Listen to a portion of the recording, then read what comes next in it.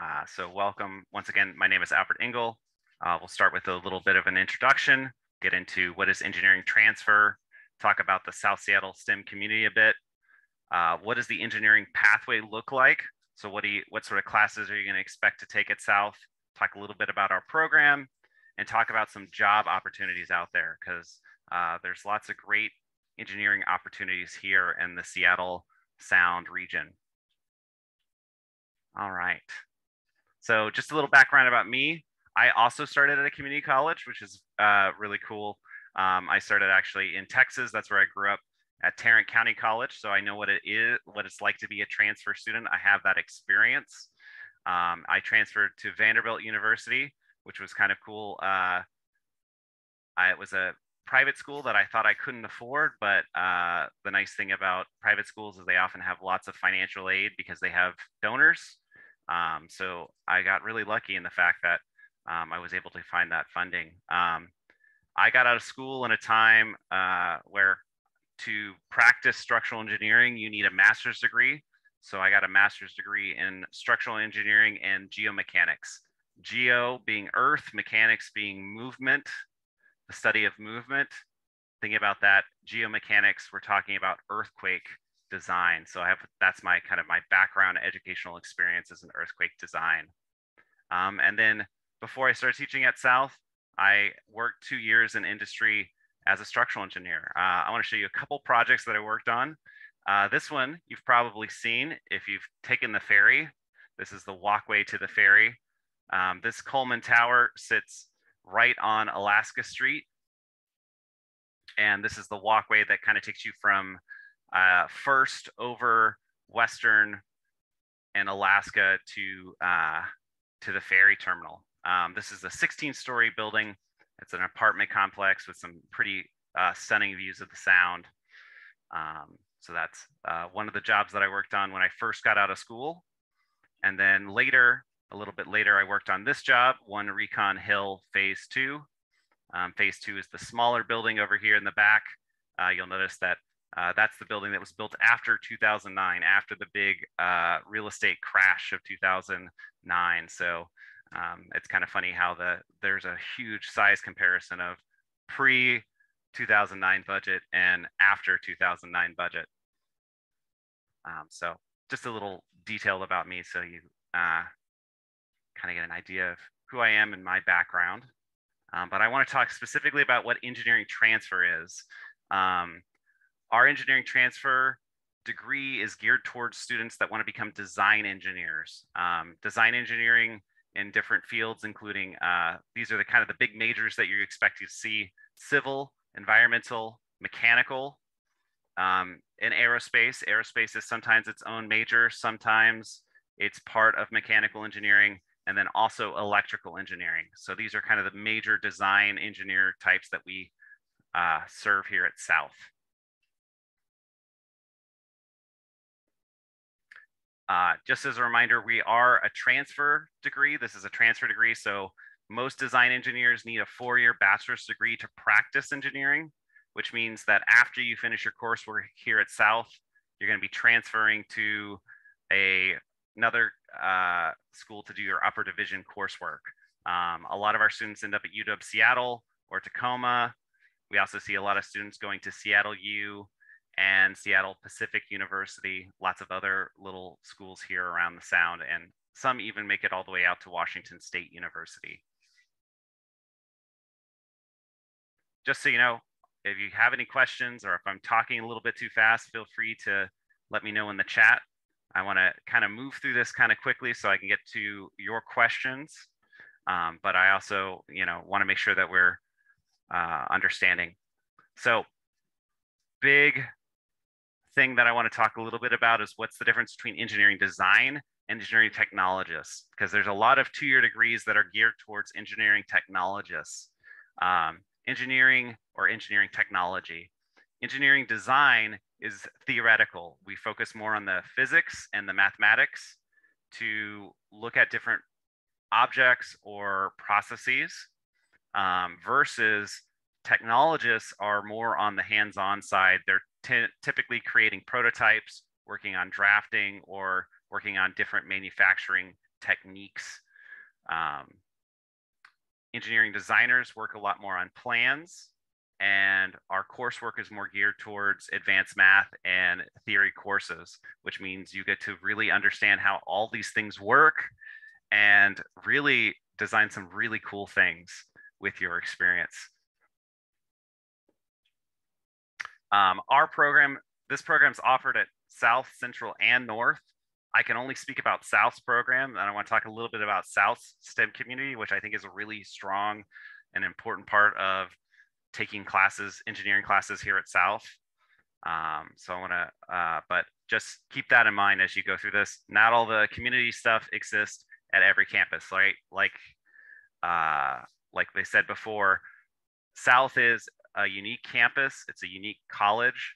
Um, we are part of a district, and there is some back and forth, but we are very uh, unique in each of our own ways.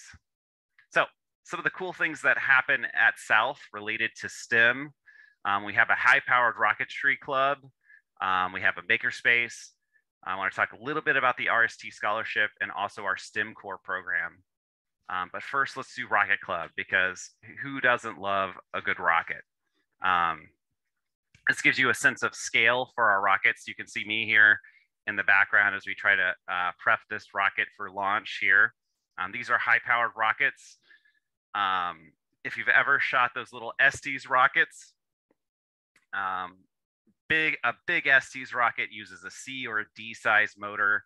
The motors that we're using on our rockets are uh, H motors. So if you're launching with a B, which is probably typical motor, you can count up the alphabetical letters C, D, E, F, G, H. So it's 10 to the six more impulse um, so 10 to the six is almost, uh, that's going to be 1 million times the amount of impulse.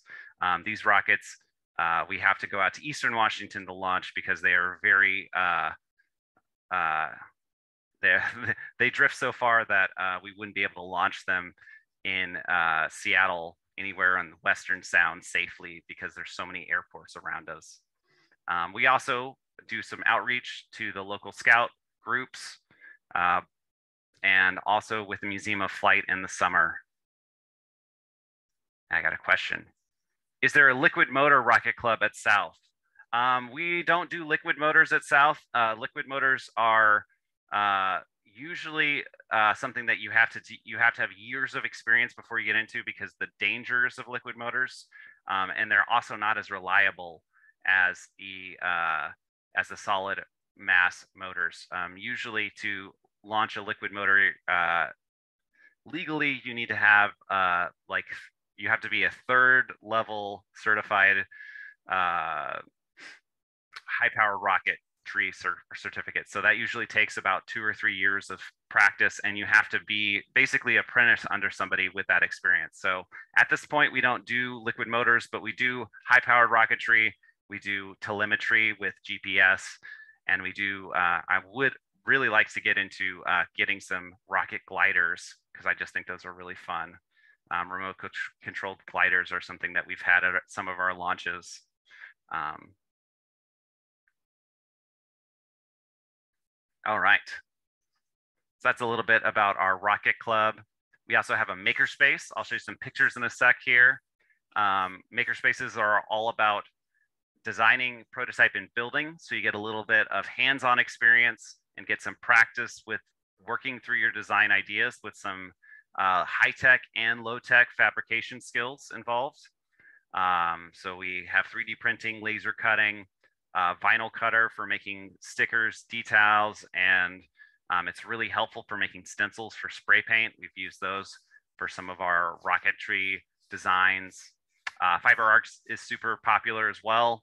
And we also do a fair amount of uh, soldering and fabrication um, and kind of linked also to our uh, Engineering 204 class. Uh, yeah, uh, got a question about CNC machining. Uh, we do have uh, some CNC work. Um, if you take there, we do, uh, we have a CNC plasma course. If you're interested in doing CNC plasma, it's a little bit more approachable than CNC machining, but there are, we do have a couple machines in the makerspace if you're interested in learning more about CNC machining or routing. Give you some pictures of some of our capabilities. One of the things that we did uh, probably three years ago when we first got our 3D printers, we have Prusa machines. So students actually built them, built these themselves uh, from a kit. And then uh, we've uh, got access to a couple laser cutters on cam uh, campus that we use to uh, create robotics parts and things like that. Uh, one of the really big draws for our STEM program is the RST program. This is a ready set transfer. That's what it stands for. It's really designed to help students when they first come into the college to connect with our STEM community through events like workshops and speakers. Um, it's a really fantastic uh, grant from the National Science Foundation. Um, it's one of the best ones on campus best scholarships on campus. It, uh, it gives you up to $2,500 per quarter, which pays through your classes, books, and a little bit extra um, to offset some of the costs of going to college. Um, it hooks you up with a STEM mentor, somebody who's meets with you at least twice a quarter to talk through uh, hurdles in your educational path and help plan for the future figure out how to transfer, how to write a personal statement, all those things you're going to need to do as you get towards the end of your career here at South. Um, we also have undergraduate research on campus, um, and there's a little bit of funding tied to that scholarship, so you can buy materials uh, with your uh, research mentor. And the cool thing about this is this thing just renews until you transfer, so it supports you uh, as all the way until you're uh, to, to transfer from South. And that's the RST program. Um, another thing that we offer that's new to South is the STEM Core cohort group. A cohort is a group of students that you're uh, kind of at your level working on the same classes that you're working on. Um, one of the cool things about this cohort is it also comes with a paid internship opportunity. So we help you write your application and get you your application uh, to work at places like NASA, um, a lot of the STEM Core students work at our, uh, get a job at a national lab if they're interested in uh, biology, chemistry, physics, those sorts of things. Uh, and also engineering, right? Um, and one of the really cool things is you also get access to a student support specialist who is uh, there to help you uh, navigate a lot of the, the challenges of college and, and help you with those internship opportunities or any of your classes, connect you to resources on campus. Um, I want to talk a little bit about some advantages of an engineering transfer program here at South. One of the cool things is we have pretty small class sizes. There's around 15 students or so, so you get a lot of face time with the instructor. I get to know all of our engineering students really well, which is a really awesome benefit. Um, all of the engineers that teach at South have real world uh, design experience. I come from structural engineering uh, for, for Francisco, who teaches some of our intro to engineering classes, used to work at Boeing. Uh, so we have a lot of really cool design experience coming to teach you. Um, one of the really awesome things is our course catalog also includes most sophomore level courses. So you're really getting an those first two years taken care of. That means that you have, you know, specialized courses for mechanical, aerospace, civil engineering, uh, computer engineering, and electrical. Um, you're getting those kind of specialized courses. So when you transfer, you're ready to go and you can finish your degree in two years. Um, I did not have the benefit of doing that. It actually took me two and a half, almost three years to get my degree. Um, so uh, I'm a little bit envious of you in that way. Um, we do a lot of hands-on learning uh, using the makerspace and other uh, things, but this is one of my favorite projects that we do. Um, we do a truss analysis. So in statics, we do a lot of analysis of truss structures like this. Um, so you actually build this bridge. We have uh, each of these uh, little black boxes here is a force sensor. So we actually hang weights on this bridge and measure the internal forces on the bridge. And then we do some analysis. We practice our hand calculations. We show that, hey, how are our hand calcs different than actual values? Um, how are the assumptions that we're making when we build these mathematical models, how are they different than reality, right? Um, that's, that's one of the fun things that we do a lot in engineering is talk about how to model things uh, mathematically. Um, and then we also look at these using advanced analysis software. So kind of looking at this three different ways to analyze how is what we do for design a little bit different than reality and how do we kind of uh, make sense of that? How do we make design decisions knowing that our values aren't always 100% rea real, but close enough to get as uh, useful results? So this is an example of some student work on these bridges.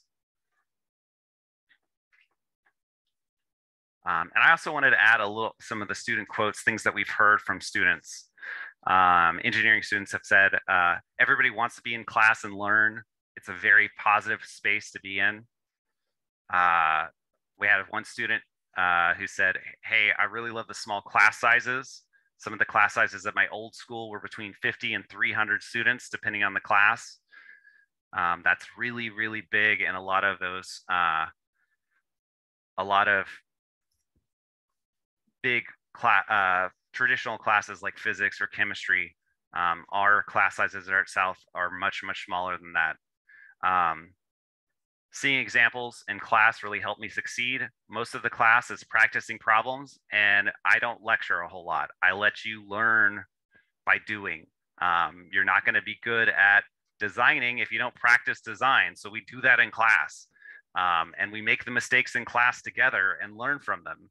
Um, because that's just part of the process. Prototyping, making mistakes is a big part of what we do. Um, we do a lot of project-based learning kind of related to that. Um, a little bit about the pathway for uh, engineering. Now, we're going pretty fast here, so I'm going to slow down a little bit and uh, see if there's any questions. Anybody have any questions at this point about South Seattle College engineering programs yet. We're going to talk a little bit about the pathway and some job opportunities out there. But I do want to open it up for questions. All right. So I don't see any questions. We'll go ahead and jump to the next part. Talk a little bit about the engineering pathway. So one of the interesting things about our engineering program uh, engineering programs are really designed around students coming in at a calc level, um, which is a pretty high level in math. And a lot of our students are coming in a little bit lower than that or need to take a few courses before they get into those calculus courses. So most of our students are taking our major related program. That's an MRP. And I'll put that in the chat. I didn't type it in our slides here, but it's the major related program MRP. And that means that you get a special program that's that gets you ready, gives you a three plus two. So it, you can finish all your courses that you need. So once you transfer, you finish your degree in two years at your uh, transfer institution. Uh, the nice thing about our classes is because so many of our classes require these prerequisites, which is kind of the uh, that our programs look a lot like cohorts. You're going to be in a, a, lot of the same classes with the same peers, so you can form study groups and friendships and uh, the sorts of things that will help you succeed in the classroom. Um, I really love that about our program here at South. Um, just as you, uh, and just as a reminder, a big part of this MRP is you're going to get, you do three years here or two and a half uh, how many credits, how many quarters you need to finish up, and then you'll transfer and finish your degree in two years at wherever you transfer.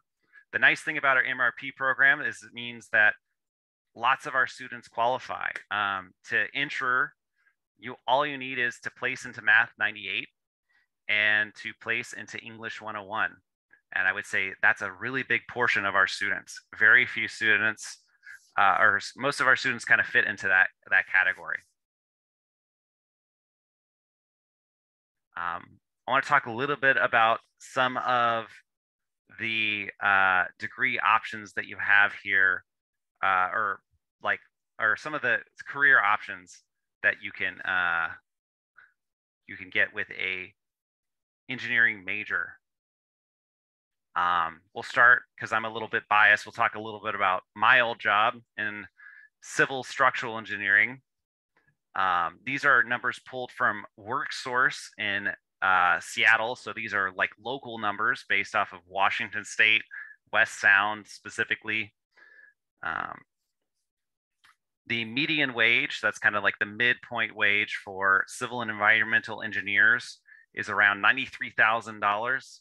Um, remember, this is the middle wage. So this is not what you're going to make right out of school, but it might be uh, what you're making after five or six years of working in industry. Um, I think for me, when I started, I was making around $72,000 and then uh, making six, uh, getting raises as I got more experience and was taking on bigger design challenges.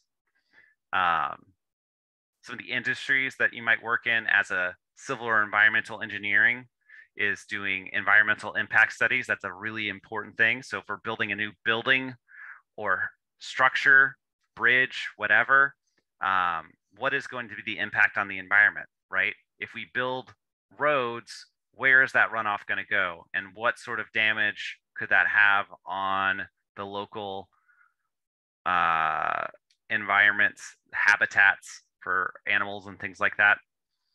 Um, road design is a big one. Uh, transportation is a huge part of civil environmental engineering and not just cars, but buses, trains. Uh, how do we interface with uh, airports, right? How do we get people through the airport onto a plane, right? That's a, uh, a big part of transportation engineering. Uh, dealing with water is a big part of uh, environmental engineering, water, wastewater. And then uh, my old job working as a structural designer, designing bridges and buildings. Do we have any civil or environmental engineering students in the house? Anybody interested in doing those sorts of things? Let me know in the chat.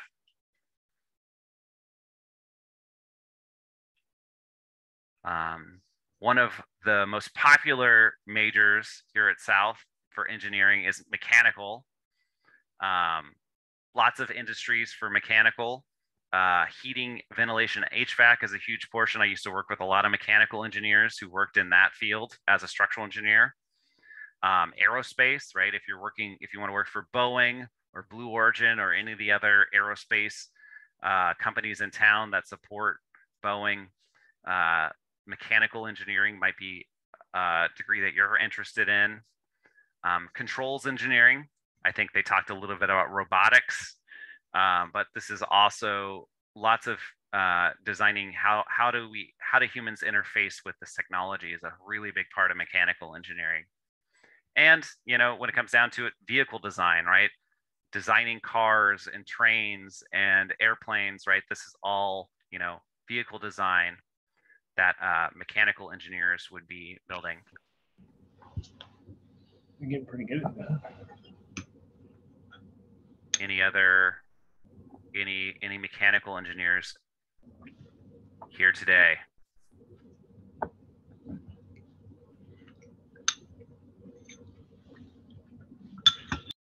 All right. Uh, one of the the other other big major that we see is electrical engineering, um, and I and I kind of put mechanical engineers. If you're interested in aerospace, aerospace typically falls under mechanical engineering. Um, I know UW Seattle has a specified program, but a lot of uh, most of the mechanic, most of the uh, people that I know that work at Boeing actually are, a lot of them end up having just straight mechanical engineering degrees. So uh, sometimes that means getting a mechanical engineering major and specializing doing a little bit of minor coursework to get a uh, aerospace minor but sometimes that just means taking a few classes here or there to prepare you to work in that field. Um, so there's a lot of mechanical engineering who are aerospace. So if I if I don't have specific information about that, just keep in mind that in that number, that's a lot of aerospace engineers. Um, electrical engineers, uh, this blew my mind. Their median wage is $120,000. Woo! Um, but they work in a lot of different industries. I think electrical engineers and mechanical are like the two bigger, uh, two biggest uh, engineering types in the U.S. Um, power systems, power grids, generation of power, controls design, robotics and manufacturing. I get a lot of students who want to, you know, make a change for the environment. And I tell a lot of them, like, if you really want to make a change, like, think about energy. How do we transmit it? How do we uh, optimize it? Um, electrical engineering might be something that you're interested in. All right. So we're making pretty good time here. Um, I'm going to open it up for uh, some general questions. Uh, what questions do we have about engineering or the STEM community itself? I'm happy to bounce around in the slides if you have a question from a previous slide. Feel free to unmute yourself and ask a question or throw it in the chat.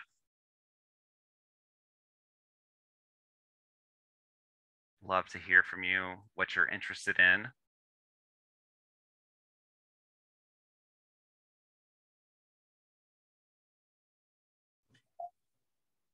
Um, hello. Hi. I go to North. Uh, my name is Hyunsu Yu, and I'm from South Korea, but I lived here for long enough, and I'm a resident here. Anyways, um, so I go to North. I'm trying to finish my two-year or two and a half year um engineering mm-hmm. associates transfer degree. Mm-hmm. Um, I plan to go to UW, uh, Seattle or Bothell. Okay. Um, anyways, that's just um part about me.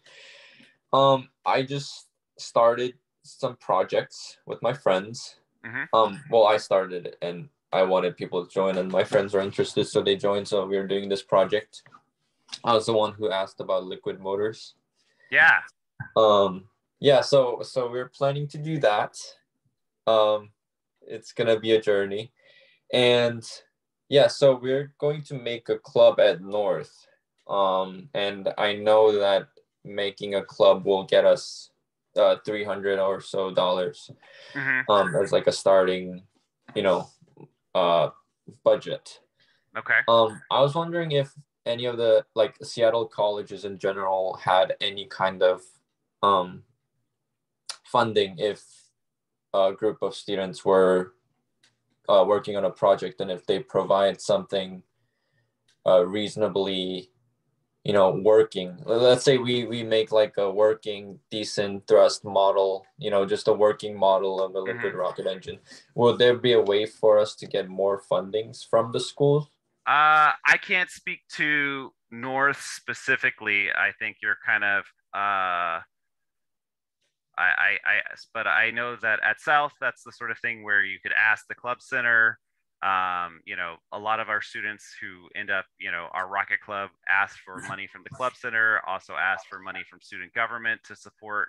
Um, they helped helped us with travel plans to get to Eastern Washington, uh, helped with mileage, and uh, I think uh, for what for for a while they they were on board to help us pay for a bus. We didn't end up needing one, but that was that was the other thing. So, you know, that's a sort of question that I can answer a little bit more uh, if you have more follow-up questions, I'm happy to answer. I also want to, you know, keep us a little bit grounded here. We don't have a whole lot of time for questions here. Okay, thank you. All right. Um, are there other STEM-related clubs? Yeah, uh, we used to have a, uh, a women in STEM club. I think right now at South Seattle College, we kind of have a we're, we're just now co- all coming back to campus, so we're starting to see an uptick in those clubs. Um, we talked, I talked a little bit about RST and uh, the STEM core group. Um, so RST, one of the things that we see a lot of our RST scholarship students doing is taking that money and using it as a uh, a leadership grant and they'll use it to start a student club. So that's actually how our, our Rocket Club started. Um, we had a makerspace uh, student group that kind of formed around that as well. Um, and we also have the STEM Core group, which isn't technically a student club, but is very similar. Um, so we have a, a lot of those sort of student community, student run communities on at South. We don't always call them student clubs, but in a lot of ways, they offer a lot of the same things of, you know, creating a space for you to meet with other people that are interested in STEM, that are interested in doing these sorts of projects um, and working together, helping you with your classes, that sort of thing. Um,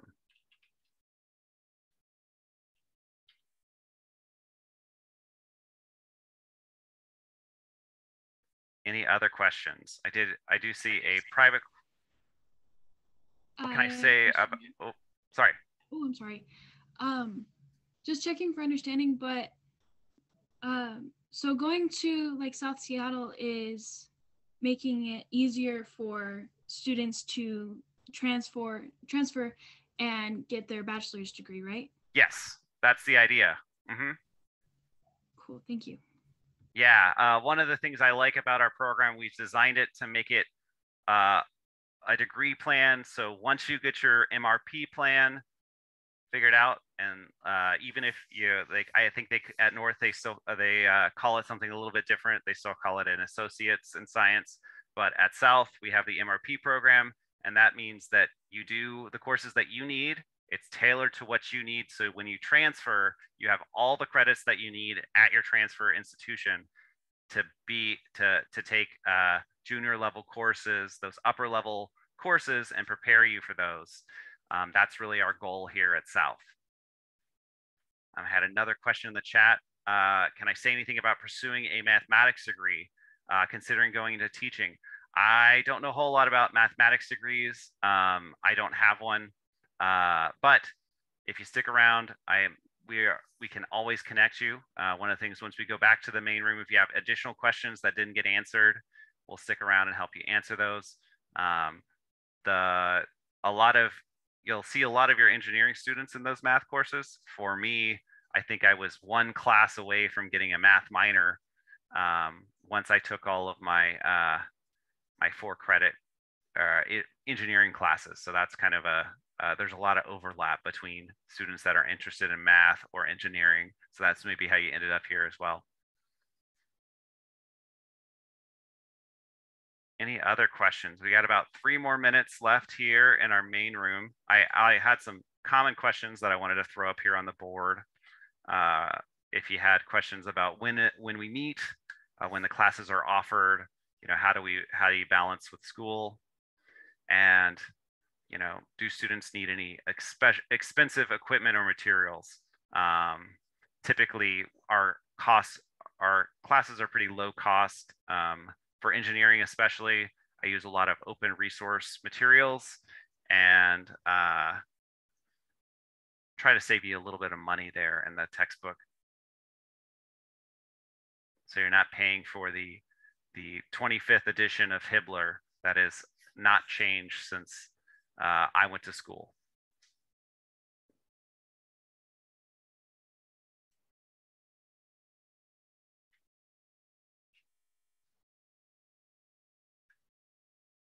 All right, well, it was great meeting all of you.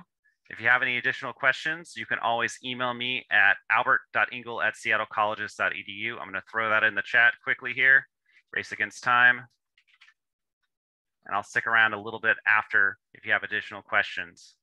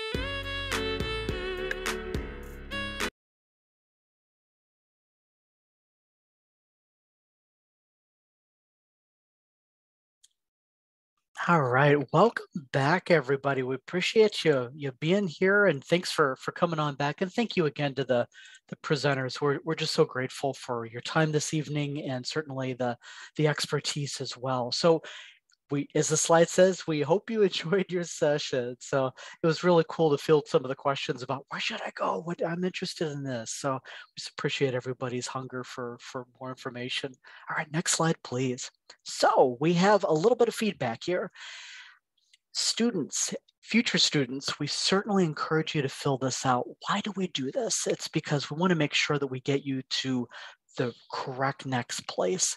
You've had an opportunity now to learn from experts